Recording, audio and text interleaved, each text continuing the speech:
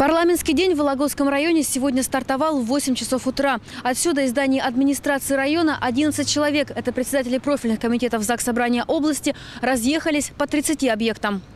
12 сельских поселений, встречи с врачами, педагогами, ветеранами и обычными волокжанами. Одна из первых точек – районная больница. В 1824 году Александр I здесь остановился посещение города Вологды. Вот то, что мы чем гордимся сейчас, больше гордиться нечем.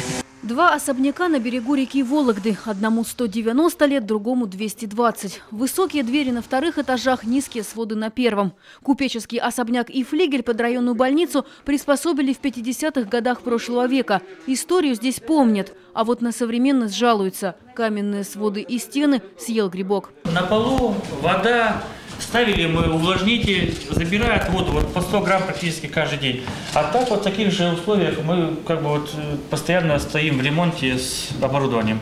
Пол под рентген-установкой провалился, а новую и дорогую аппаратуру не приобретают вовсе. Нет смысла ставить ее в практически аварийные помещения. Как нет смысла и в косметическом ремонте. Краска не держится на стенах. Здание находится в таком состоянии, что если его вскрыть и капитальный ремонт, проводить капитальный ремонт, то это будет в разы дороже, чем построить новое здание.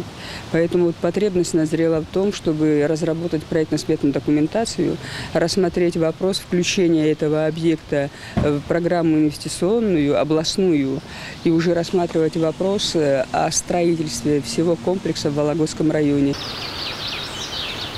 Про строительство говорили и на другой точке. Первый свой объект, деревянную часовню на Святом Источнике в Спасском, местный житель Николай Соколов поставил еще в 70-х. С тех пор вот уже 40 лет он лелеет мечту восстановить этот уголок. И работу за последнее время проделал немалую.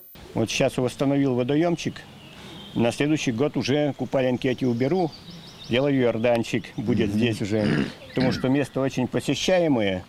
Э, на это крещение э, было много народу. Я посчитал где-то за э, сутки порядка трех-четырех тысяч прошло сюда народу.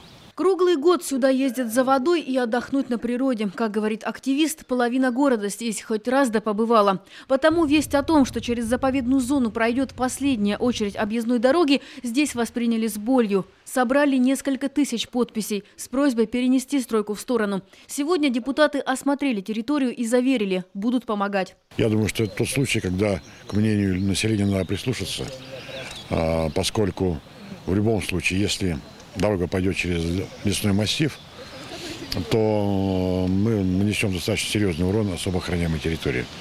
Я думаю, надо перепроектировать, посчитать затраты, и мы, наш комитет будет ходатайствовать об этом, безусловно. Кстати, в Заксобрании этим летом планируют объявить новый конкурс «Родники Вологодчины». Всем желающим предлагается облагородить заброшенные родники, которые наверняка есть в любом районе области, и прислать фотоотчет о проделанной работе. Людмила Малинина, Николай Замараев. Новости Вологды.